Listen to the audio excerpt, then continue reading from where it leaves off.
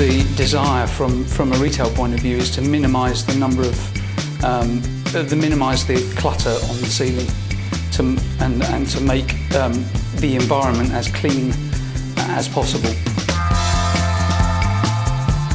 So, so the original idea of, uh, of what became Mixto was to create a light fitting that had a, a, a balance of ambient lighting and accent lighting. As the fitting developed, we became aware of, the fact that we could create solutions that had ambient only, that had accent spotlighting in varying beam, beam angles. Uh, but what we could do then was also integrate other services.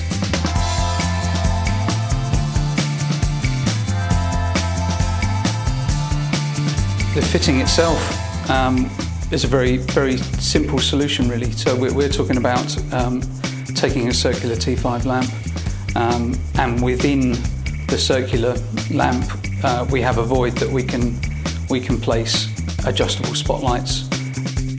The Express spotlight range uh, can be integrated within Mixto. So we can have a we can have a situation where is, where the express product is used on its own in in, in a reception area or um, in another public space.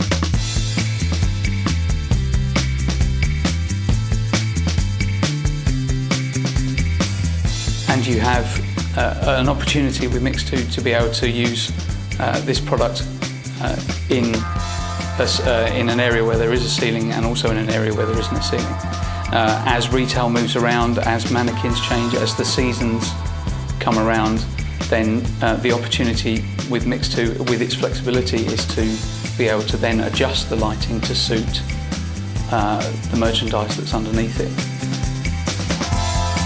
Um, and, and, the simplicity of the of the form of the product really would, would allow it to be converted into surface mounted, suspended, uh, recessed, semi-recessed products.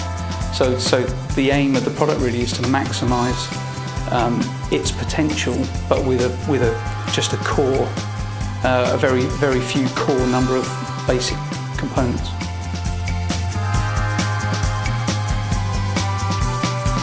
What, what we're trying to do with, with Mixto is, is, is to create many, many uh, solutions, but with a, with, a, with a very simple product.